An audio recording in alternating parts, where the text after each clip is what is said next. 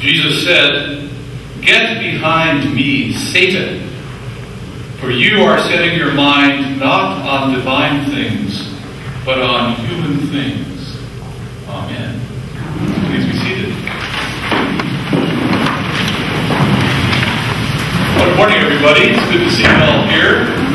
Um, Pastor Linda is in Mexico City. I believe. I got some pictures over on the internet whatever you call that thing we look at. At you. And uh, I think I was a daughter there, and they're doing whatever they're doing there. And so we wish her well and Godspeed, and uh, you know the protection of the Spirit be upon her. Uh, my name is Lamont Wilsey. I haven't been here for about a year. It's good to see old friends and see some strangers. It's nice to be back because I'm getting to do what I really love doing, which is Know, I've, I've been ordained now 44 years or something like that, and now it's just, it's not even second nature, it's that I've stepped into my nature. So thank you for giving me this opportunity.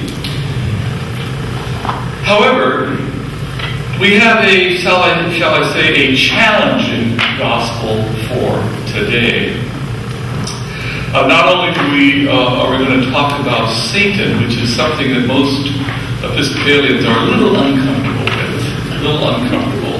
What is Satan? We are, um, we have problems because we are heirs of an intellectual tradition in the Episcopal Church that is of enlightenment, and we don't believe in demons, we don't believe that sickness is punishment, and all these things that, that I think we pretty much agree. But so when you are confronted by the concept of Satan, what do you do? So it's a challenging gospel for today.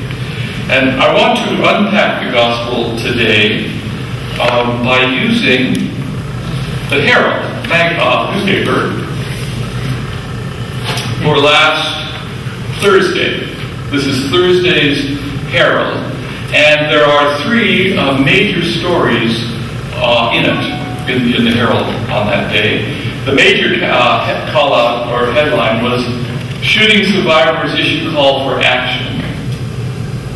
Then there was a announcement of Billy uh, Graham's death at age 99. That's above the fold, a big deal. And then there is this little corner over here, which goes on a lot longer than the articles, an article about anchovies. so, as I say, it's a challenging gospel using the newspaper because we Episcopalians were uncomfortable with Satan. Billy Graham raises all sorts of issues for those Episcopal priests who have to preach. And then the little anchovies, well, we'll talk about them toward the end. Satan. What is Satan? Well, the word the word means adversary or tempter, satanu, as it's pronounced, I believe. And it is a, um, as I say, it's an uncomfortable subject for me because I sort of don't believe in spirits like that. I, am behind God. I get the notion of God and the Trinity. But when you start talking about demons and uh, and Satan and tempters, I have a real problem but here's my question to begin to think about Satan. What is it that caused Nikolas Cruz to think shooting 17 people in a school was an appropriate way to spend the day? Was it a mistake? Was he sick? The problem that we have, that I have as a Christian, is trying to come to grips with that reality. How many times have you heard, well, mistakes were made? Nikolas Cruz did not make a mistake. He wasn't making a mistake. A mistake is when you're doing your taxes and you had 393 and 427 against 622, or 623. That's a mistake. It isn't a mistake to do that. In the Garden of Eden, our parents were set in there and were given knowledge of the of good and evil.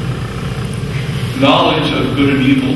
What is that force, that spirit, that dynamic that helps us, causes us, tempts us to do the wrong thing even though we know they're wrong. Anybody ever done something you know was wrong? Raise your hand. Come on, we're in church. You're going to be honest. Come on. You can't be honest here. My word. What are you going to do when you, well, whatever. so, coming to grips with why we do what we know to be wrong is a very big deal and has always been a big deal. There is a uh, fellow named John Templeton. Uh, anybody running money here, mutual fund guy? Anybody here? John Templeton invented the mutual fund in the 30s. He got when they moved to Bermuda to avoid the taxes. And he started the Templeton Prize. And the Templeton Prize is a very big deal in religion. It is uh, an award given to the person every year who makes the greatest advance in religion, science, and society. It's a big deal. I mean, it's like enough that if you can come up with today any reason other than sin for why people do the wrong thing, well, donate it to the church where you get the Templeton Prize because it will endow the parish. There is no other explanation than the power of sin. And what gives sin that power?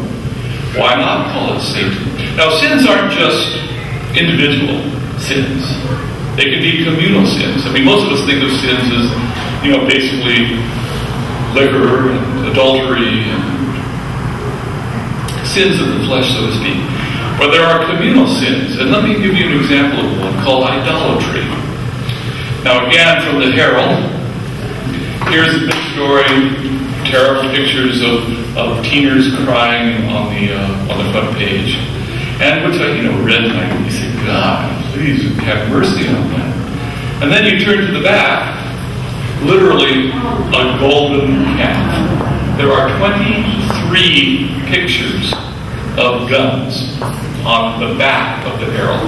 And they have such ironic names as Varminter, oh, uh, Smith & Wesson Shield, a tactical, a tactical, you can make yourself a 12-inch tactical so, you know, when you're defending your home, you can blow them away. And, and it's nothing. They're all legal. There's no shotgun here that has a barrel length of less than 18 and a half inches. So it's legal. It's legal. You can go buy your shotguns to do it. And there's a special one for $99. That is idolatry. That is a sin. That is against the will of God. Guns. Uh, imagine on the day after this problem, this is the ad. Imagine what is going on. What is going on is the tempter. What is going on is Satan is at work in our society. Now, what are we going to do about that? What are we going to do about this sin, Satan, this temptation that causes us to do the wrong thing even though we know it's right? What is the way out? Now we're going to talk about Billy Graham. Now we're going to talk about Billy Graham. Died uh, fr- uh, Wednesday at age uh, 99 on, uh, in uh, Charlotte, North Carolina, or his, he has a retreat up there in the hills there. And he was um, somebody, he is, was, he is somebody that I've grown really to admire, and I will admit, envy. He was born in Jim Crow, North Carolina, and when he was seven, he decided he wanted to be, he wanted to be a preacher. That's what he wanted to do. He, he felt this call of God as a, as, a, as a kid, and he wanted to preach. And so he went to, uh, he grew up in the Deep South, and he went to uh, a number of colleges, sort of bounced around. And so he went to Wheaton College, which is the Evangelical College in Illinois. And he graduated in 1942 with a degree in anthropology. Now, I find that interesting. I thought he was just a Bible thumping beef here in Southern Cracker. But he isn't. He actually is a smart guy. And he studied anthropology. And what he studied in anthropology, if you do anthropology in, in cultural discipline, so you look at statues, and you look at religious artifacts, and you look at expressions of the human soul. And he began to realize the humanity that he wanted to preach to. He understood the, the anchovies, the fish that he was preaching to. And boy, did he preach. He preached. He would do crusades, as most of you probably know, and he did it for 40 years, and in his lifetime, according to the article, he preached in person to over 215 million people in 40 years. 215 million. I'm going to say there are 100 here. That's a lot of Sundays for me if I'm going to catch up with Graham. That's what I mean about a little bit of envy about Billy Graham. He also discovered, he was one of the first really to discover radio and TV, and using those media, it is reckoned by Nielsen that 2.2 billion people heard his message, the good news of Jesus Christ. Billy Graham brought evangelical American Christianity into as much respectability as it has. And in a way, I say I not only envied him, but as one pro to another, I have to give him a tip of the hat. He had everything good voice, great looks, moral rectitude. Hmm? And what was his message? It was about Satan. It was about sin. His message was this If you accepted Jesus Christ as your personal Lord and Savior, you could be reconciled to your God, your neighbor, and yourself. The, the tyranny of sin could be broken. You could send Satan away with a spanking of laughter. In short, through Christ, you could begin to become what your better angel is calling you to be. And Billy Graham had a pretty compelling message. Can I get an amen on that? So I've talked about Satan as the adversary, the one that's difficult to believe in, but manifestly real. Manifestly real. Talked about Billy Graham, the preacher. And so now let's talk about the third item on the front page. We've got the shooting people, victims. Uh, here's Billy's obit. And now, in the little corner, is about anchovies. Though just a little fish, the northern anchovy is a big deal for wildlife and tourism on the west coast. The little old anchovy, Camarillo anchovy, is a very important critter. Although small, it is at the bottom, well not quite the bottom, of a food chain that ends with us, basically, the apex predator of the world. But through it, it goes through, you know, rock cod, and it goes through porpoises, and it goes through whales, and then it comes to us. The little anchovy is on the front page of the Herald to remind us that's what we are. The Christian symbol for Christians is what? A fish. We are little fish, and yet we are at the bottom of a food chain that goes to heaven.